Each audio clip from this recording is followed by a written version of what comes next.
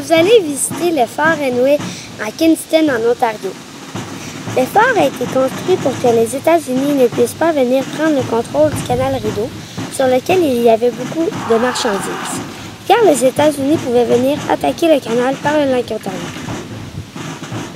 Le phare a été bâti dans les, armées, dans les années 1732-1737. Beaucoup de canons ont été installés tout autour du phare. 300 fenêtres ont été placées pour les fusils. Le phare comptait aussi un fossé sec pour garder les prisonniers. Six tours sont disposées pour surveiller les alentours du phare.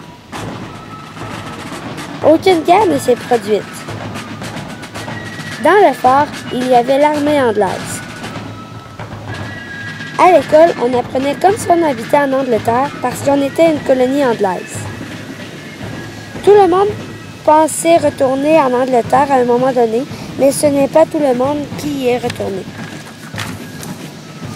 Nous avons assisté à une démonstration de combat avec des fusils et des canons avec des balles à blanc, ce qui veut dire qu'elles ne pouvaient blesser personne. On a vu aussi que les rangs étaient très importants, comme le commandant avait un bain et les autres devaient se laver dans le lac Ontario.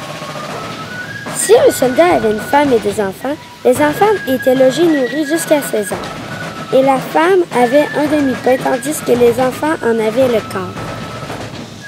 J'ai beaucoup aimé ma visite car j'ai vu une démonstration de combo. Moi, ça m'a beaucoup intéressé.